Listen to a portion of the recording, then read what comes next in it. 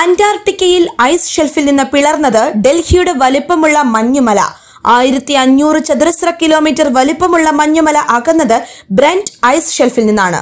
സമീപത്തു നിന്ന് വളരെ കാലമായി നിരീക്ഷിക്കപ്പെടുന്ന ഐസ് ഷെൽഫ് കൂടിയാണ് Brunt ice shelf.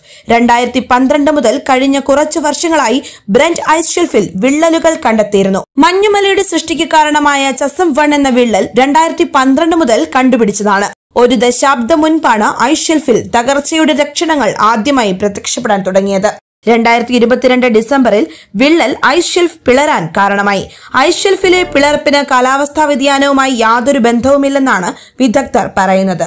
News desk വാർത്താ മലയാളം